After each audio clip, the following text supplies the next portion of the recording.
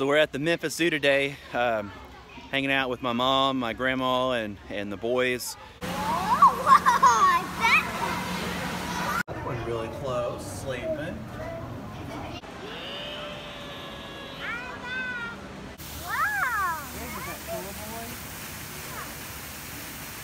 Okay, let's stay close, buddy. Hey, get down, get down from there.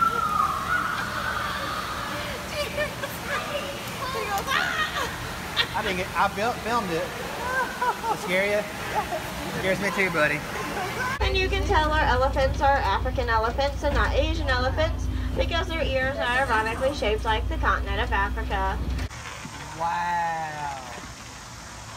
The nickel's grown really good. Say cheese. We're taking a lazy break, riding the trolley.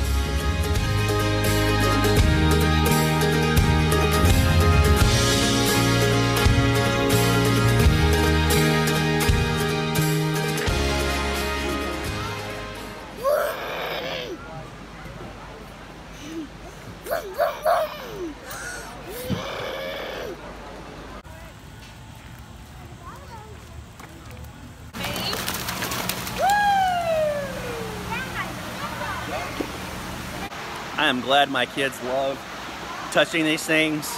There's no way in the world I would touch a stingray. These are safe. I just do not like underwater creatures, nor do I want to be touching them.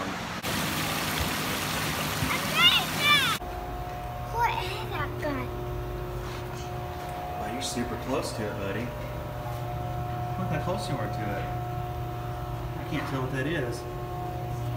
Okay, I have to admit, these are some really cool, there's some really cool elevators. It's like something cut into a cave or something. It's pretty cool.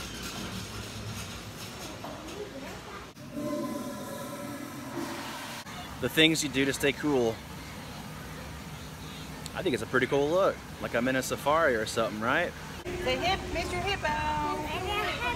Go like rah.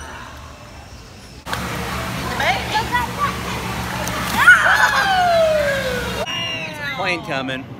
That's the big one, Caleb. Big old plane.